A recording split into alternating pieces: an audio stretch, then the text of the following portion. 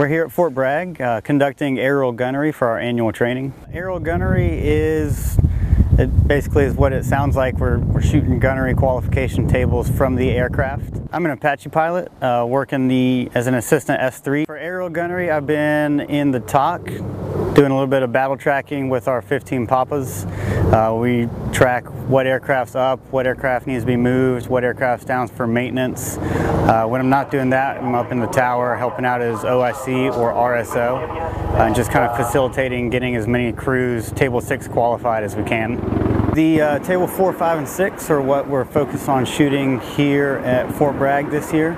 Uh, table 4 and 5 are shot during the day and it's a mix of hover, running, and diving fire uh, using all the weapon systems, 30 millimeter, 2.75 inch rockets and Hellfires. Table 6 is our qualification table. It's, uh, it's pretty much the same mix of the different modes of flight and the weapon systems, but it's at night so it's a little more difficult and uh, requires a lot more concentration from both pilots. The crew consists of two pilots. The pilot in the back seat's primarily on the flight controls with a few engagements uh, from the back seat, but the majority of the gunnery tables run from the front seat where they have more uh, accurate control over all of the weapon systems. The tower is used to sequence the aircraft in for their gunnery tables. There you got the OIC that's running the range.